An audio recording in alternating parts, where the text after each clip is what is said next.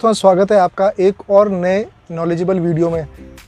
आज ये वीडियो आप लोगों के लिए बहुत ही महत्वपूर्ण और यूज़फुल होने वाली है, क्योंकि आज इस वीडियो में हम बात करेंगे कि सीएनजी गैस जो हम गाड़ी में लगाते हैं, उसके क्या फ़ायदे हैं और क्या नुकसान है। यानी सीएनजी गैस के फ़ायदे और नुकसान। यहाँ तो इस वीडियो आप लोगों के लिए बहुत ही यूज़फुल होने वाली है, इसलिए इस वीडियो को आप पूरा देखिएगा, बिल्कुल स्किप मत कीजिएगा। और जो लोग इस वीडियो को पहली बार देख रहे हैं, इस चैनल पर नए, पहली बार आए हैं, मैं उनसे ये रिक्वेस्ट करूँगा कि आप चैनल को फटाफट सब्सक्राइब कर लीजिए और साथ में जो बेल आइकन का जो बटन दिख रहा है, आप उसको ऑन कर लीजिए, जिससे आने वाली जो भी वीडियोज़ है, वो आपसे बिल्कुल भी मिस ना हो। तो चलिए वीडियो को शुरू कर लेते हैं। सीएनजी गैस का यूज़ हम सब करते हैं। लेकिन क्या आप जानते हैं कि सीएनजी की जो प्रॉपर फुल फॉर्म है, वो क्या है? मैं आपको बताता हूँ सी की जो फुल फॉर्म है, वो है कंप्रेस्ड नेचुरल गैस जिसे हिंदी में संपीड़ित प्राकृतिक गैस भी कहते हैं। यह गैस का जो उत्पादन हुआ था, जो इसका पहली बार जो इसका यूज़ हुआ था, वो 1930 में हुआ था। विदेशों में इस गैस का बहुत यूज़ होता है और भारत में इसका ईंधन में भी इसका उपयोग होता है। ये गैस सीएनजी गैस, बाकी जो फ्यूल है, उनसे काफ़ी यूज़फुल है, बहुत ही लाभदायक है, क्योंकि इसका उपयोग इसके उपयोग से पर्यावरण को किसी प्रकार का भी नुकसान नहीं है। इसलिए जो हमारी जो सरकार है, जो गवर्नमेंट है, वो इसके ऊपर बहुत ज़्यादा फोकस कर रही है। इसीलिए आजकल जो सभी लोग हैं, वो सीएनजी की तरफ़ ही मूव कर रहे हैं और जो लोग पेट्रोल या डीजल गाड़ी यूज़ करते हैं, वो कोशिश करके सीएनजी की तरफ़ ही मूव कर रहे हैं या फिर अपनी गाड़ी में सीएनजी लगा रहे हैं। तो आज हम ये जान लेते हैं कि सीएनजी जो लोग लगवा रहे हैं, उसका क्या फ़ायदा है और क्या नुकसान। देखिए, हर चीज़ का कोई ना कोई फ़ायदा और नुकसान दोनों होता है। तो हम एडवांटेजेस और बेनिफिट हम दोनों के बारे में बात करेंगे। पहले हम बात कर लेते हैं बेनिफिट की। उससे पहले मैं आपको एक चीज़ बता दूँ कि एक सर्वे के मुताबिक तो अगर कोई भी व्यक्ति अपनी गाड़ी में सीएनजी यूज़ करके सीएनजी चलाता है सीएनजी गैस पर अपनी गाड़ी को चलाता है तो करीब करीब अगर उसकी रोज़ की रनिंग 30 से 40 किलोमीटर है तो वो साल के कम से कम 30 से चालीस हज़ार रुपये अपने सिर्फ़ फ्यूल फ्यूल के बचा लेता है। और अगर वही गाड़ी वो अगर पाँच साल मिनिमम यूज़ करे तो करीब एक लाख अस्सी हज़ार से लेकर ढाई लाख के बीच के वो पैसे सेव कर लेता है सिर्फ़ फ्यूल सीएनजी यूज़ करके। तो इसीलिए इसका बहुत ही जो यूज़ है वो दिन ब दिन बढ़ता जा रहा है उसकी डिमांड भी बढ़ती जा रही है। तो जिस और जिस सिटी में सीएनजी अवेलेबल नहीं थी वहाँ की गवर्नमेंट भी सीएनजी को ज़्यादा प्रे, प्रेफरेंस दे रही है और वहाँ पे सीएनजी अवेलेबल करवा रही है। तो चलिए पहले हम बेनिफिट्स की बात कर लेते हैं कि इसके क्या बेनिफिट हैं। उसके बाद हम इसके डिसएडवांटेजेस के बारे में बात करेंगे कि इसके क्या नुकसान भी हैं। तो चलिए पहले बेनिफिट जान लेते हैं। तो अगर हम बेनिफिट की बात करें तो सबसे पहला जो बेनिफिट है और सबसे बड़ा वो ये है कि ये पेट्रोल और डीजल के मुकाबले काफ़ी सस्ती है। जहाँ पेट्रोल और डीजल की रेट सौ रुपये या उससे ऊपर है, वहीं सीएनजी आपको सत्तर या पिचहत्तर रुपये के आसपास आपके शहर के या आपके राज्य के जो अनुसार जो प्राइस चल रहे हैं, इसके आसपास आपको मिल जाएगी, जो बहुत बड़ा डिफरेंस है। करीब तीस किलो, तीस रुपये के हिसाब से आपको काफ़ी गैप मिल जाएगा। तो यहाँ बहुत बड़ा डिफरेंस देखने को मिल जाता है, जिसकी वजह से इसकी डिमांड बढ़ती जा रही है। अगला बेनिफिट की हम बात कर रहे हैं सेकेंड नंबर तो वो ये है कि इसका जो माइलेज है, वो पेट्रोल और डीजल की जो गाड़ियाँ हैं, जो इंजन की जो गाड़ियाँ चल रही है, उसके मुकाबले इसका माइलेज काफ़ी ज़्यादा मिल जाता है। जहाँ पेट्रोल और डीजल की गाड़ियाँ आपको 18 से लेकर 22 किलोमीटर के हिसाब का हिसाब से आपको एवरेज देती है माइलेज देती है, वही सीएनजी गाड़ी उनके मुकाबले 26 से 27 किलोमीटर प्रति केजी के हिसाब से आपको एवरेज मिल जाता है जिसकी वजह से आप काफ़ी अपने पैसे फ्यूल में बचा सकते हैं। तीसरा बेनिफिट सबसे बड़ा वो ये है कि पेट्रोल और डीजल हमारे एनवायरनमेंट के लिए हमारे पर्यावरण के लिए बहुत ही नुकसानदायक है। उसके उसमें से निकलने वाली जहरीली गैसें जो है हमारे पर्यावरण को बहुत ही नुकसान पहुंचाती है।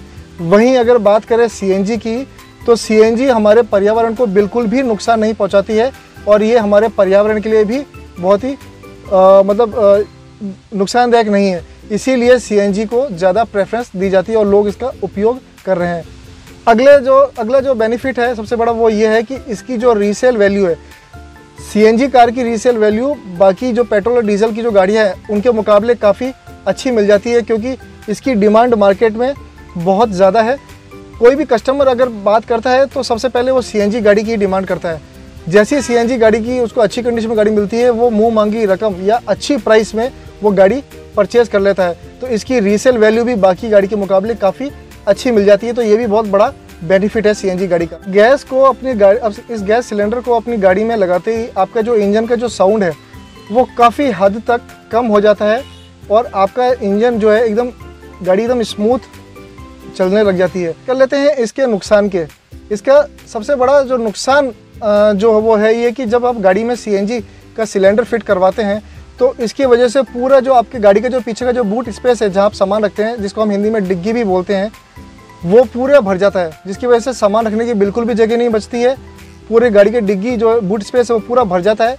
तो कभी अगर आप अपने फैमिली के साथ या अपने फ्रेंड सर्कल के साथ या किसी के साथ भी कहीं आउटिंग पर जाते हैं या किसी अपनी सिटी से कहीं दूसरी सिटी जाते हैं तो आपको सामान कैरी लगेज कैरी करने में काफ़ी दिक्कत होती है। एक और नुकसान की बात करें तो वो ये है कि जो गाड़ी, जो सीएनजी का जो सिलेंडर होता है वो फिट करवाने के लिए बहुत ही मतलब कॉस्टली हो जाता है, क्योंकि अगर आप बात करें सीएनजी की सिलेंडर को फिट करवाने की तो ये नॉर्मली दस पंद्रह हज़ार में फिट नहीं होगा। इसको फिट करवाने के करीब पचास हज़ार से लेकर साठ हज़ार के बीच में आपको पे करना पड़ेगा, तब जाके ये सिलेंडर आपकी गाड़ी में फिट होगा।